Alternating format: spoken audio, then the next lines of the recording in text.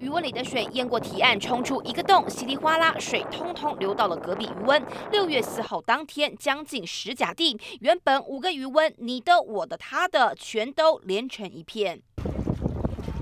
这是天灾还是人祸？水甚至淹进了一旁的猪寮，里头二十多条大毛猪被活活淹死，而淹水主因竟然是施工中的排水堤防。那这海水倒灌倒到了规片拢中淹，淹所有三四窟完全拢拢烧塌。从剖面图来看，原本大排堤防大约有三点五公尺高，却因为施作排水工程方便机具进驻，向下挖六十公分。但大雨一来，水漫过堤防，冲破一个大洞，水漫余温。其实这是可以避免的。渔民说，老早就告诉包商得赶紧回填，却没有及时防范，导致余温全淹，排水堤防成了淹水主因。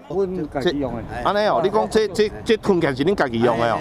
这造成理解上啊，就。都严重啊！好好好好，实在淹怕了，赶在梅雨封面之前，自己动手将提案垫高。虽然包商承诺赔偿，但如今大雨又来，渔民噩梦再次笼罩，难免无法心安。记者廖文斌，云林报道。